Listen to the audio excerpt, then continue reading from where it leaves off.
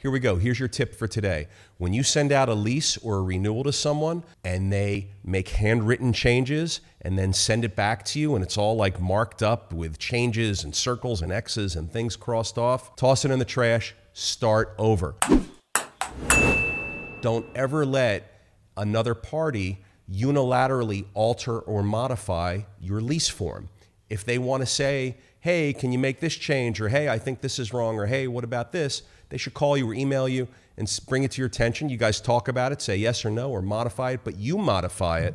Don't let them do it by hand and in writing and make chicken scratch out of your nice lease document. It's only a problem. You want your lease documents to be unmodified, unaltered, and unedited by anybody. If there's a discussion that needs to take place, have the discussion and negotiate whatever it is. We don't really negotiate our lease terms. For commercial leases, it might be different because it's not so standardized and it requires a lot of customization.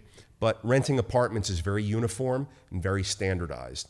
Everybody in the building gets the same lease. Every tenant across the portfolio gets the same lease. That's the document. It's not negotiable, it's not editable, it's not modifiable. So when you send out your lease document and you get it back and there's all this handwriting and editing that occurred, just scrap it and call them up and say, hey, we'd love to have you, but you can't make all those changes.